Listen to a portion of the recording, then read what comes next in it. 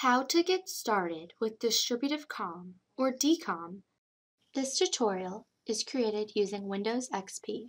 However, Windows Vista and Server 2003 have a similar process. First, let's go down to the Start menu to open the DCOM config utility that is built into the Windows operating system.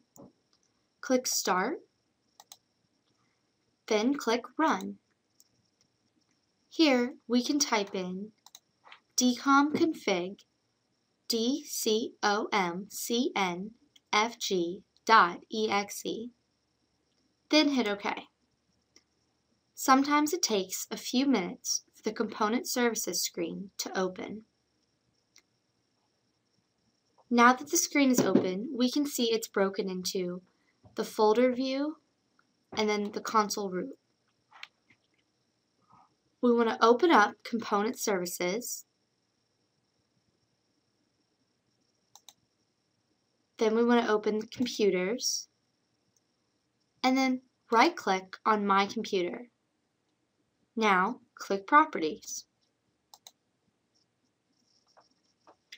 At the top of the menu, we see a group of tabs. Let's start out with setting the default properties.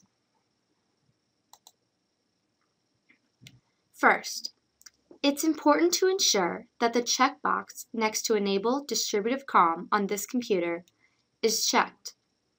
Without this box checked, DCOM won't be active on this computer.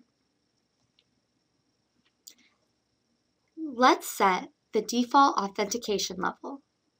Click the drop-down box and select None. Now, let's set the default impersonation level. Once again, click the drop-down box, and this time we're going to select Identify. These are the settings for the Default Properties tab. Now, locate the COM Security tab at the top of the menu.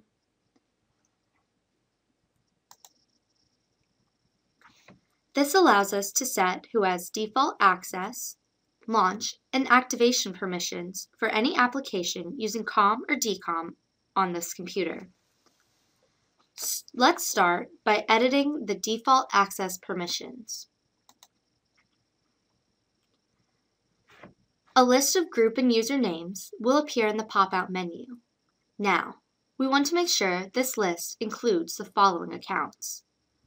Anonymous, everyone, guest, interactive, network, and system.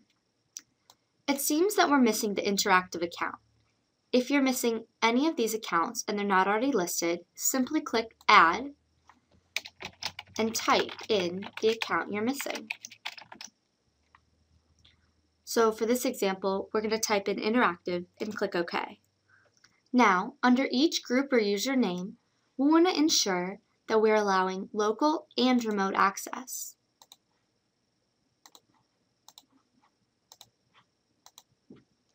Once these settings have been applied for all the group or user names, click OK. Now you want to edit the limits under Access Permissions and Launch and Activation Permissions, as well as the default under Launch and Activation Permissions